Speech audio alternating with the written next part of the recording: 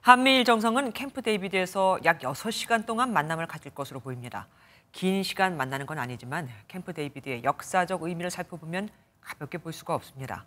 캠프 데이비드는 어떤 곳인지 신재우 기자가 알아봤습니다. 수도 워싱턴 DC에서 약 100km 떨어진 곳에 있는 캠프 데이비드. 1942년 약 73만 제곱미터 규모로 건설된 이곳은 미국 대통령의 공식 휴가지로 골프 연습장, 수영장, 볼링장 등이 갖춰져 있습니다.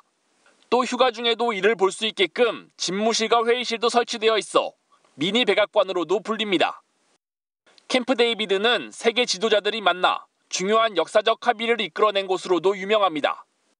1943년 윈스턴 처칠 전 영국 총리가 외국 정상으로 첫 방문해 2차 대전 종식 방안을 논의했고 1978년엔 이스라엘 이집트 평화회담이 열리기도 했습니다. 우리나라 대통령 중에는 지난 2008년 이명박 전 대통령이 유일하게 방문했습니다.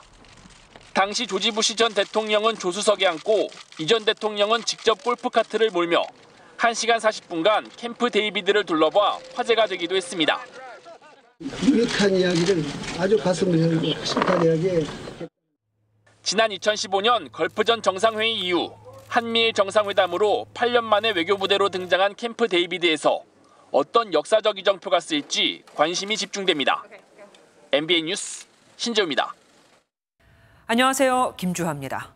공정하고 신속한 MBN 뉴스 유튜브를 통해서도 만나보실 수 있습니다. 특히 더 많은 뉴스와 라이브를 보고 싶으시다면 오른쪽을 눌러서 구독하시면 됩니다. 어렵지 않죠? 빠르고 정확한 뉴스로 계속 찾아뵙겠습니다. MBN 뉴스를 시청해주신 여러분 고맙습니다.